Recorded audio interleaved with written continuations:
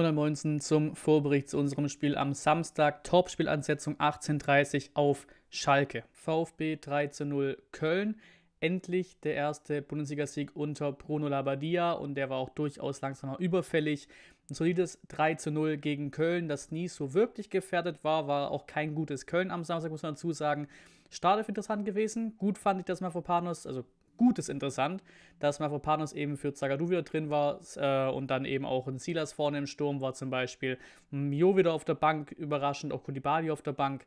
Ähm, was wir gemerkt haben, Chill Diaz oder Chill Diaz, wie auch immer, hat einen geilen linken Fuß. Das ist eine Waffe, absolut. Sosa trifft genau zum richtigen Zeitpunkt. Da war Köln ein bisschen besser im Spiel, genau zum richtigen Zeitpunkt. Macht er den Traumfreistoß zum 2 zu 0 rein. Weißt du, Woche davor, davor noch ans Lattenkreuz gejagt, das Ding. Diesmal perfekt drin dass wirklich absolut alles an dem Tag ging. Ich habe es, glaube ich, auch so im Stadionvlog gesagt, äh, dass alles an dem Tag ging, ist einfach das perfekte Zeichen, eben mit dem Kulibali-Treffer. Direkt nach der Einwechslung trifft das Geburtstagskind ähm, zum 3 zu 0. Auch ein geiles Zeichen danach, alle umarmt auf der Bank. Da ist ein Team da, weil auch Mio kam rein. Kulibali ja auch oft kritisiert worden von Labadia, so Trainingsarbeit und so weiter. Beide reingekommen, beide auf der Bank gewesen, beide gespielt dann auch. Wir sind ein Team, das war ein gutes Zeichen. Ähm, und zum Glück kein entscheidendes Thema geworden, aber auch ein kleines Thema. Also Skiri hätte 100% mit glattrot vom Platz müssen wurde nicht überprüft oder nichts, hat nur gelb gesehen, ganz wilde Nummer, wie gesagt, zum Glück überhaupt nicht spielbeeinflussend. Ähm, Stimmung war brutal, Stimmung war brutal, gerade der zweiten Halbzeit war es grandios, war wieder euphorisch, einfach auch schön. Ovi ist da schön gesungen, eine Abwehr aus Granit, einfach schön gewesen. So sind wir vor auch in der Kicker-Elf des Tages gewesen und dazu natürlich am Ende auch noch die VfB Fairplay-Aktion zu erwähnen. 56.000 Euro wurden da in Summe gesammelt für die Hilfe für die Erdbebenkatastrophe. Sehr, sehr stark. Diaz und Haraguchi, die beiden Wintertransfers, die beiden Winterneuzugänge und finde ich, sind es mal wert anzusprechen, weil bekannterweise beide haben ja quasi schon Hate abbekommen, bevor sie überhaupt da waren. So, als die Gerüchte aufkamen, so, oh Gott, warum holst du jetzt so einen Alten aus Union und so einen, sag mal, Söldner oder so einen, der halt, ja, Wanderspielermäßig ist, wie, warum holst du einen und sowas. Und bisher bestätigt sich es, logischerweise auch glücklicherweise, ne? aber es bestätigt sich aktuell, dass beide stabil abliefern. Beides aktuell Stammspieler, gerade Haraguchi ist eigentlich fast nicht mehr wegzudenken neben Endo im Mittelfeld. Vielleicht auch tatsächlich, habe ich irgendwo gelesen, Kommentar, fand ich ganz interessant, vielleicht ist tatsächlich Haraguchi das, was uns so ein bisschen fehlt seit einem Abgang oder eben der Nichtverlängerung von Gonzalo Castro. Ganz interessanter Gedanke eigentlich. Ähm, Diaz, wie gesagt, vorhin schon angesprochen, der linke Fuß, brutal. Ähm, beide auch wenig gekostet, ne? mit etwa einer Million. Bei Diaz gab es auch nochmal neue, neue Infos. Laut dem Kicker kommen da erfolgsabhängig nochmal 1,15 Millionen oben drauf, also so Boni-Zahlungen halt. Und sollten wir ihn verkaufen, äh, gibt es auch 20% Weiterverkaufsbeteiligung für seinen Ex-Club. Brudelei Werle, weil hier auch eine kleine Empfehlung. Der Podcaster hat nämlich eine Stunde mit, äh, mit Nachspielzeit auch so ein extra Ding quasi äh, mit Alex Werle gesprochen. Äh, unter anderem auch interessant, dass wir laut Werle im Winter für drei Spielerangebote im zweistelligen Millionenbereich abgelehnt haben. Klar, Dino Sosa, Frage ist, wer ist der dritte? Vielleicht sogar tatsächlich Hiroki Ito, kann ja sein. Ähm, Gibt es ja auch gerade aktuell Gerüchte, dass, dass wir da scheinbar irgendwie schon konkrete Angebote vorliegen haben für den Sommer. Auch, dass ein Dinos im Sommer natürlich auch wieder hoch im Kurs steht, dass er wechseln könnte. Äh, das ist ein anderes Thema. Ähm, man habe seine Aufga Hausaufgaben gemacht bei der Badia, mehr hat er nicht kommentiert, äh, aber es klang schon so raus, was ja auch einfach mal geschrieben wurde, dass wir da, glaube ich, ja, wenn es nicht läuft, da auch recht billig wieder rauskommen aus dem Labadia-Vertrag, sage ich mal. Und auch im Pod Cannstatt von der STZ SDN ging es kurz um Werle in Bezug auf diese T-Online-Geschichte, die wir auch hier besprochen hatten.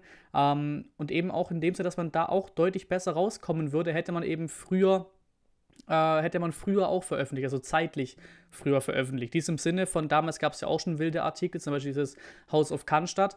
Und damals hat man scheinbar auch recht gut hinbekommen, mit denen halt abzusprechen mit der Zeitung und das eben hin, hinzubekriegen, dass der nicht mehr online ist, der Artikel. Damals wurde aber eben nicht quasi direkt reagiert, direkt die Online-Artikel und direkt Stellungnahme von wegen, wir finden es nicht okay, sondern da eher im Hintergrund, da kann das richtig mitbekommen. Hätte man damals schon so öffentlich damit agiert, dann wäre vielleicht das heute auch nicht mehr so auffällig oder halt, ja, Teil des Ablaufs, wie man es halt so macht beim VfB und ein bisschen seriöser.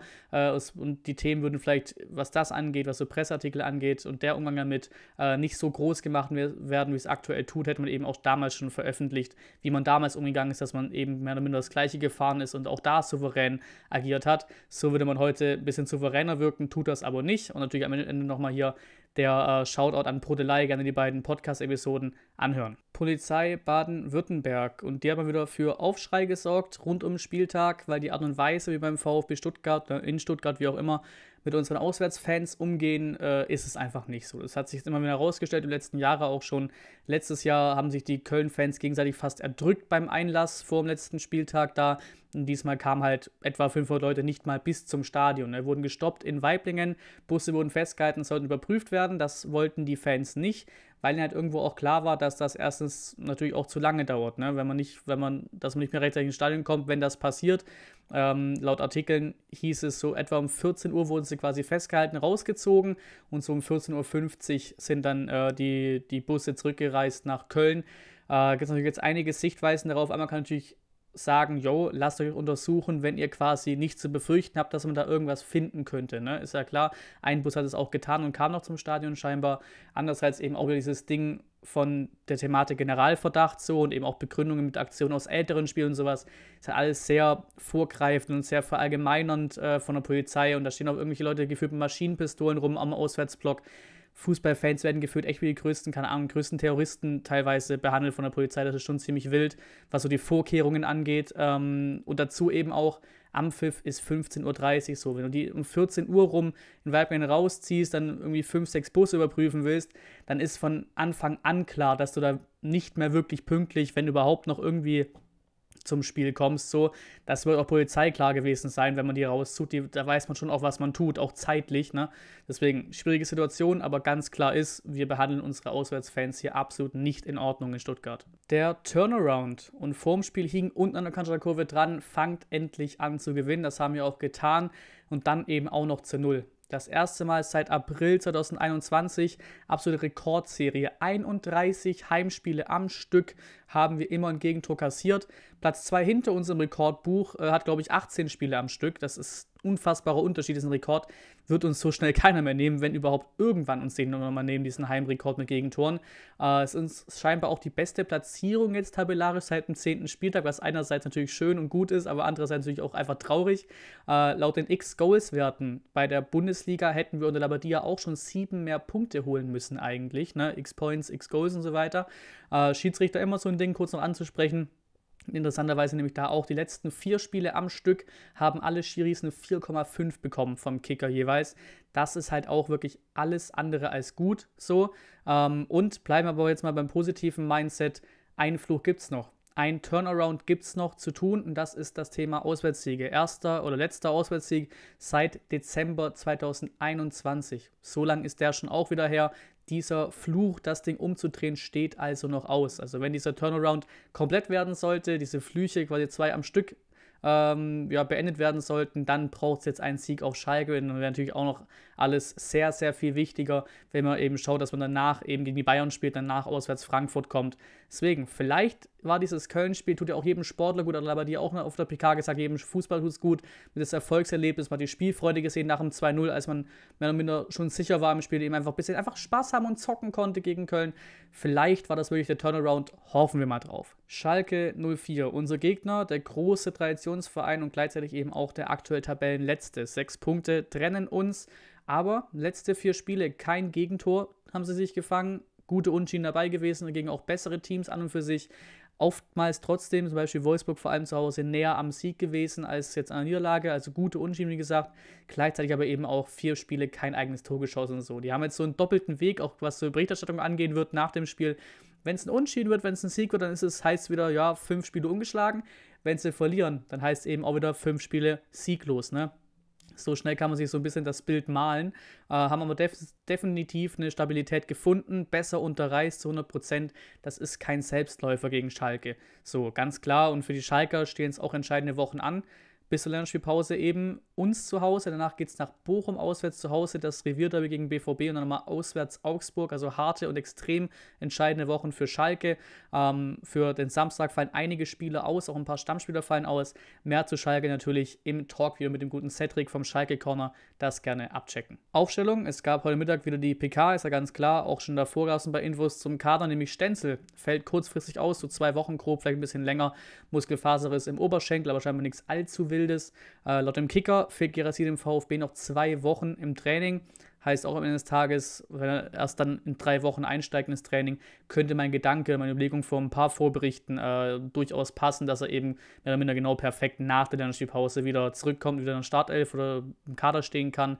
Tomasch wieder eine Option für die Bank, laut der PK. Pretlo wird spielen, aber die hat damals Verhältnis zwischen Müller und Pretlo auch gelobt zwischen den beiden Torhütern, das sei gut. Und damit gibt es eigentlich für mich keinen großen Anlass, irgendwas zu ändern. Ne? Wie sagt man so schön? Never change a winning team. Also Schnelldurchlauf. Bredlo, Sosa, Ito, Dinos, Anton, der mir auch auf rechts immer besser gefällt. Oder was heißt besser gefällt? Er macht natürlich nach vorne nicht so viel. Manchmal ein bisschen schwierig aus nach vorne, aber der Mann ist mit Leidenschaft dabei, kämpferisch dabei, das ist schon in Ordnung mittlerweile auf rechts da hinten. Dann eben natürlich Karasor, Endo und Taraguchi und vorne Fürich, Silas und Hill Diaz. Prognose. Und hier schwingt natürlich Optimismus aus dem Sieg gegen Köln mit, aber eben auch so ein bisschen VfB-Vergangenheit, sage ich mal. Weil einerseits sollte man meinen, so dass jetzt, wie gesagt, Stichwort Turnaround von vorhin, dass wir jetzt abliefern können, so dass dass jetzt was geht, dass man jetzt die Flüche beendet, gute Serie starten könnte nochmal. Andererseits war es aber eben auch schon oft so, dass eben gerade auf gute Spiele dann ein enttäuschendes Spiel gefolgt ist. Zum Beispiel genau diese Phase, die wir in der Hinrunde hatten. Ein absolutes Kackspiel zu Hause gegen Schalke ist 1 zu 1. Danach war es top in München, holst ein 2-2 die Woche drauf hast du es nicht mitgenommen und hast wieder ein Kackspiel gemacht gegen Frankfurt zu Hause. Ne? So ein Ding halt. Schalke ist defensiv stark, aber eben offensiv schwach, wissen wir auch mittlerweile.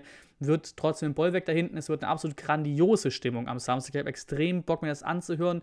Hoffe und glaube auch, dass es über den Fernsehton oder über Fernsehbilder, wie auch immer, alles gut rüberkommen wird. Ausverkaufte Hütte, auch der Auswärtsblock, so 5.000 bis 6.000 dabei. Richtig geil.